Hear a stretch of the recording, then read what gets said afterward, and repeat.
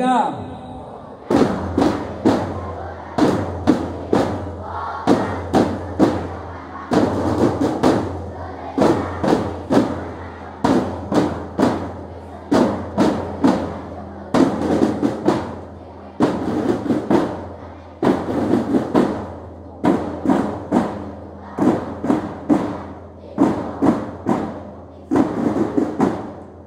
Vì tổ quốc sau chủ nghĩa, vì lý tưởng Ngô bác Hồ vĩ đại, sẵn sàng. Thôi kính kính mời về đại biểu thầy cô và các em ra ngồi xuống. Tháng 11 lại về trong không khí hân hoan của cả nước, hướng về ngày nhà giáo Việt Nam 20 tháng 11 ngày mà cả xã hội với tấm lòng trân trọng, tôn vinh công lao to lớn của các nhà giáo. Chúng ta ai cũng có một thời thơ ấu, tuổi học trò, những tâm hồn trong trắng và cũng đang hồi tưởng về những thầy cô giáo kính mến, đáng yêu và tôn kính vô hạn. Dân tộc ta ngàn xưa đến nay đã có truyền thống hiếu học, tôn sư trọng đạo. Điều đó được thể hiện qua câu nói, nhất từ vi sư, bán từ vi sư. Muốn sang thì bắt cầu kiều, muốn con hay chữ, phải yêu lấy thầy. Nguyễn Trải đã từng biết. người thầy giáo không những dạy chữ mà còn dạy đạo lý làm người người thầy có một vị trí rất vẻ vang, bởi nói đến người thầy là nói đến người có trí tuệ, có người của đức độ, giàu lòng nhân ái, khoan dung. Người thầy luôn được tượng trưng cho những gì chuẩn mực nhất. Người thầy không những nắm đạo lý, mà còn có sứ mệnh cao quý, là truyền đạo lý cho mọi người, nhất là cho thế hệ học trò của mình, giúp cho họ trở nên người có học vấn có nhân cách tốt, có năng lực giúp ích cho đời, cho dân, cho đất nước. Ngày nay có biết bao thầy cô giáo đang ngày đêm không quản ngại khó khăn, gian khổ, mang tâm huyết trí tuệ, cống hiến cho sự nghiệp trong người. Tôn vinh người thầy đã trở thành đạo lý tốt đẹp là tình cảm tự nhiên của mỗi người chúng ta. Sự tôn vinh người thầy không chỉ nói lên truyền thống mà là còn thể hiện niềm tin, lòng mong mỏi của toàn xã hội đối với ngành giáo dục, đối với mỗi thầy cô giáo. Kính thưa quý vị đại biểu, kính thưa quý thầy cô giáo cùng tất cả các em học sinh thân mến. Hòa chung trong không khí hân hoan của cả nước hướng về ngày nhà giáo Việt Nam 20 tháng 11 thầy trò trường trung học cơ sở Nguyễn Du long trọng tổ chức buổi lễ meeting kỷ niệm 35 năm ngày nhà giáo Việt Nam 20 tháng 1 1982 20 tháng 1 năm 2017 đó là lý do của buổi lễ hôm nay.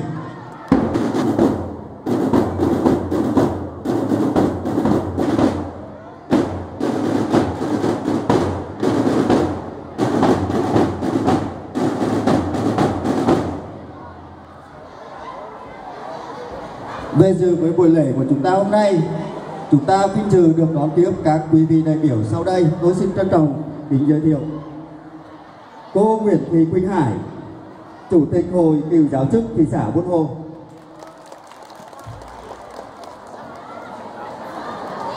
Bác Lê Bá Tiển, trưởng ban đại diện cha mẹ học sinh trường trung học cơ sở Nguyễn Du cùng các cô bác trong ban chấp hành chi hội. Và chúng ta thật vinh dự đón tiếp các thầy cô giáo. Nguyên là giáo viên của trường trung học cơ sở Nguyễn Du. Đó là cô giáo Đào Thị Phùng thầy Nguyễn Tài Linh.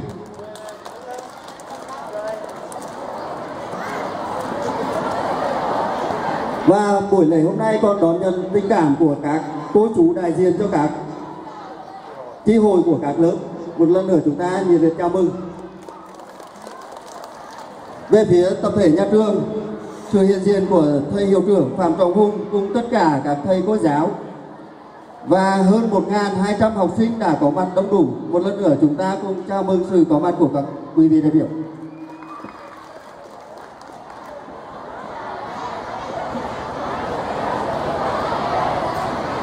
Sau đây để ôn lại truyền thống của Ngày Nhà giáo Việt Nam 20 tháng 1, tôi xin trân trọng kính giới thiệu thầy Phạm Trọng Hùng, hiệu trưởng nhà trường sẽ lên đọc diễn văn chào mừng Ngày Nhà giáo. Quỳnh Hải, Chủ tịch Hội Cấu Chủ tịch thị xã Buôn Hồ. Kính thưa các vị đại diện cho ban thực trực, cha mẹ phối học sinh cùng tập thể thầy cô giáo và các em học sinh thân mến. Tháng 11 lại về trong không khí hân hoan của cả nước hướng về ngày nhà giáo Việt Nam 20 tháng 11. Ngày mà cả xã hội với tâm lòng trân trọng, tôn vinh, công lao cao cả đối với nhà giáo. Chúng ta ai cũng có một niềm tin yêu của một thời thơ ấu của học trò những tâm hồn trong trắng cũng đang suy nghĩ về thầy cô kính yêu của mình với lòng biết ơn sâu đậm và niềm tôn kính vô hạn. Hôm nay chúng ta có mặt tại buổi lễ kỷ niệm 35 năm Ngày Nhà giáo Việt Nam của trường Trung học cơ sở Nguyễn Du. Lời đầu tiên, cho phép tôi được thay mặt ban giám hiệu nhà trường, tập thể sư phạm nhà trường. Xin được cảm ơn quý vị đại biểu đã về dự và chúc toàn thể quý vị đại biểu cũng như tập thể sư phạm nhà trường, các em học sinh lời chúc mừng tốt đẹp nhất. Kính thưa toàn thể quý vị đại biểu của các em học sinh thân mến, cách đây 35 năm theo nguyện vọng của nhà giáo và của toàn dân bộ giáo dục đào tạo đã đề nghị hội đồng bộ trưởng nay là chính phủ ra quyết định số 167 chính thức lấy ngày 20 tháng 1 hàng năm là ngày nhà giáo Việt Nam. Ngay sau khi quyết định trên ra đời, ngày nhà giáo Việt Nam lần đầu tiên được tổ chức trọng thể tại hội trường Ba Đình, thủ đô Hà Nội. Từ đó đến nay, ngày nhà giáo Việt Nam đã trở thành ngày kỷ niệm của toàn xã hội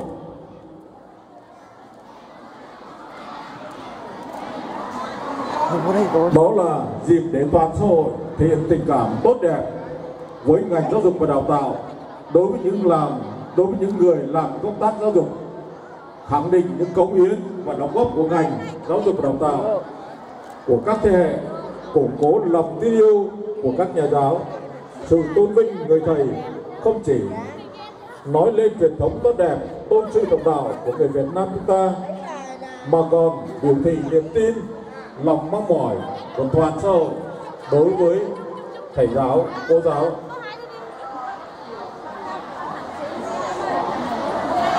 Chính vì vậy, mỗi thầy cô giáo chúng ta phải không ngừng phấn đấu, rèn luyện, trau dồi đạo đức, tác phong và nâng cao trình độ chuyên môn nghiệp vụ để hàng ngày hoàn thành tốt cái thiên chức của mình đối với xã hội. Kính thưa toàn thể quý vị thầy cô và các bậc phụ huynh học sinh và các em học sinh thân mến. Lịch sử ngàn năm văn hiến của dân tộc ta đã được các thể trao, xây dựng, bồi đắp nên những giá trị truyền thống, văn hóa, đậm đà bản sắc dân tộc. Chính là sức mạnh truyền thống làm nên sự trường tồn của dân tộc chúng ta để lưu giữ, vun đắp truyền thống. Giá trị truyền thống đó từ thế hệ này qua thế hệ khác qua bao biến cố của lịch sử trao trải qua bao thử thách và hy sinh, có thể nói rằng trong quá khứ đấu tranh và phát triển nền văn hóa dân tộc, vai trò của các thế hệ nhà giáo đã đóng góp một cách xứng đáng và củng cố và cũng có nghĩa rằng trong những giá trị truyền thống văn hóa Việt Nam, nói chung có chứa được những truyền thống tốt đẹp của nghề nhà giáo.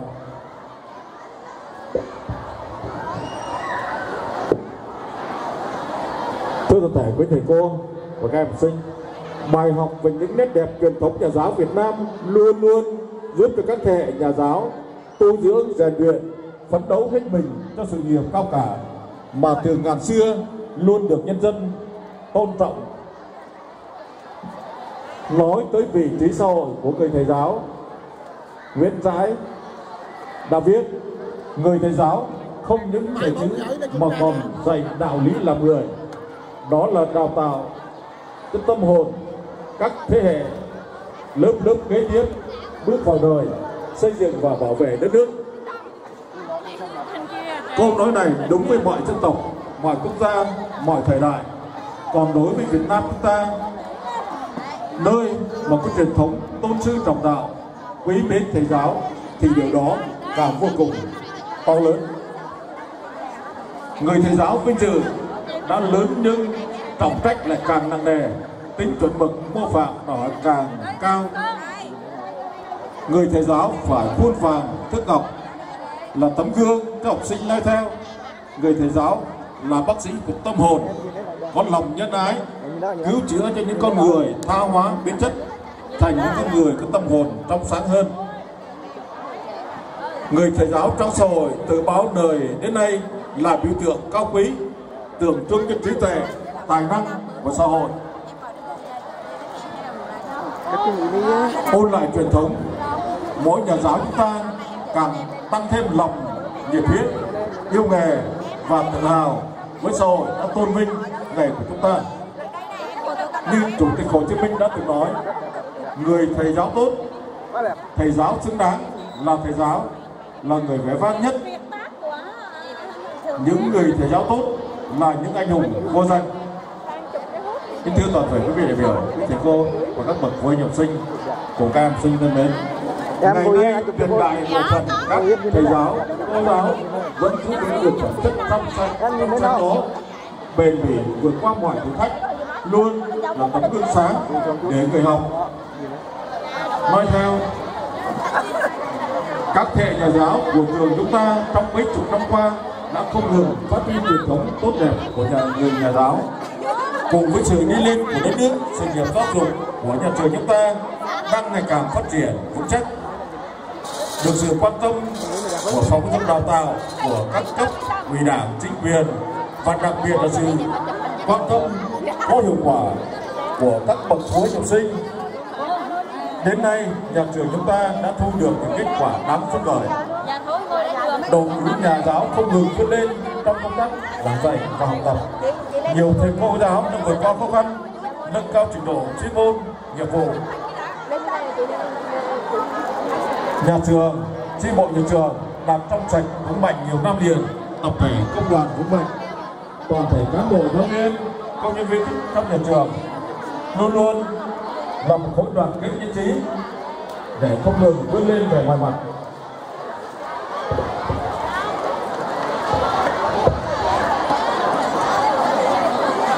Kế thừa và phát huy những thành quả đã đạt được trong các năm qua, năm học này, công tác giáo dục của trường chúng ta cũng đã và đang đi đúng hướng và thực hiện tốt các cái phong trào của ngành giáo dục đào tạo đề ra.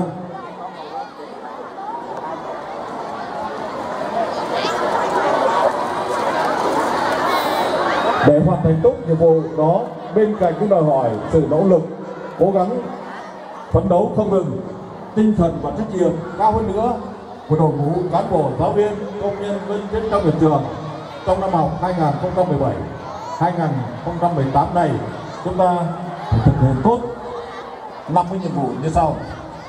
Một là giữ vững phẩm chất, giữ vững chất lượng giáo dục toàn diện nhà trường, chú trọng đổi mới phương pháp dạy học.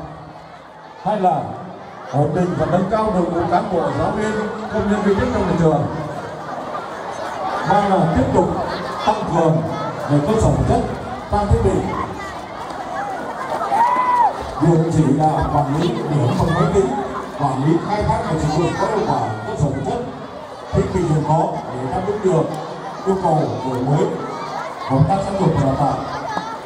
Bốn là tiếp tục đổi mới công tác quản lý, tăng cường nền nếp kỷ cương.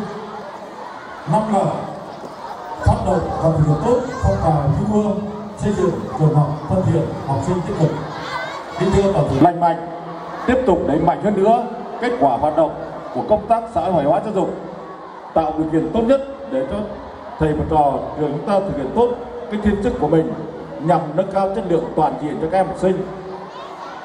Một lần nữa, tôi kêu gọi toàn thể cán bộ, giáo viên, công nhân nhân viên chức trong nhà trường hãy phát huy cao độ cái truyền thống tốt đẹp của nhà trường của ngành nhà giáo Việt Nam. Quyết tâm bồi dưỡng, rèn luyện, tận tụy với nghề nghiệp, phấn đấu hoàn thành xuất sắc nhiệm vụ của năm học 2017 2018 cuối cùng, xin ờ, kính chúc toàn thể quý vị đại biểu, quý bậc phụ huynh học sinh, quý thầy cô và các em học sinh chúng ta sức khỏe, đoàn kết, phấn đấu hoàn thành tốt nhiệm vụ của mình. Và chúc cho cái ngày 20 tháng 1 của trường chúng ta thật là ý nghĩa một lần nữa xin ờ, trân trọng cảm ơn.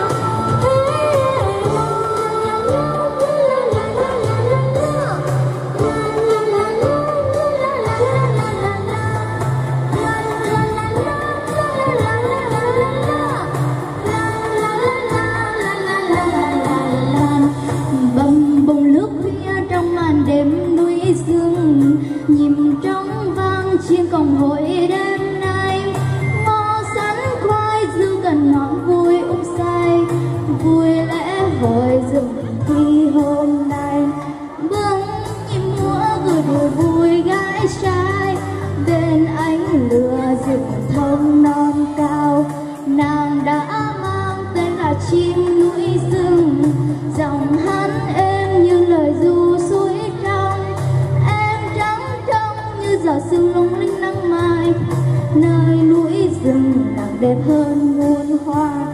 Tiếng em hát chiều huyền mắt chính lắng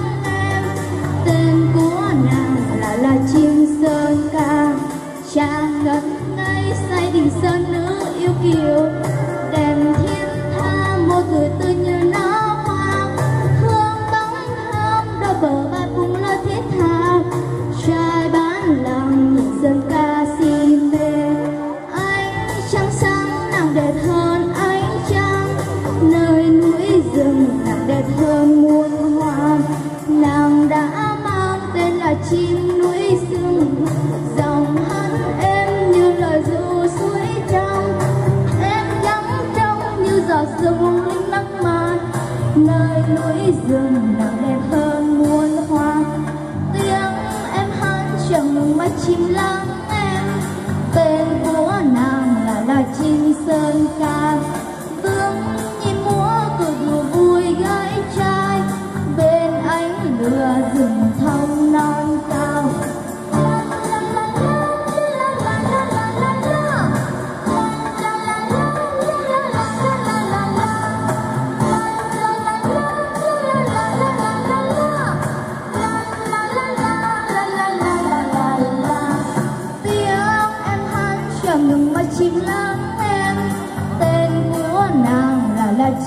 sơn ca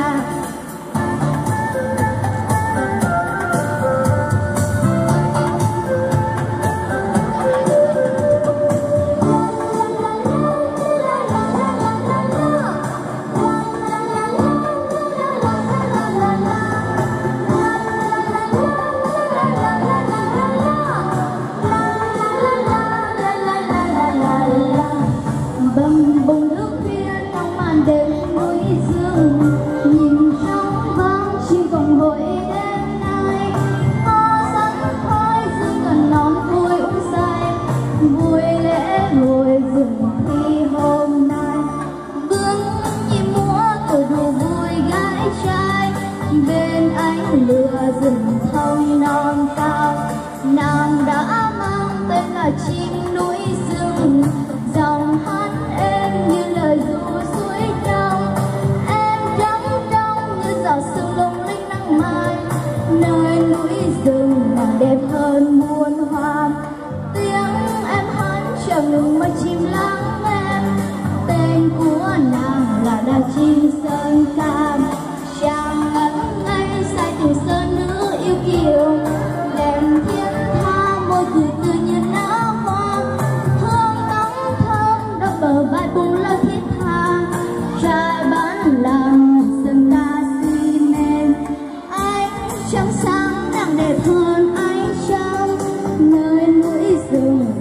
trên muôn hoa nàng đã mang tên là chim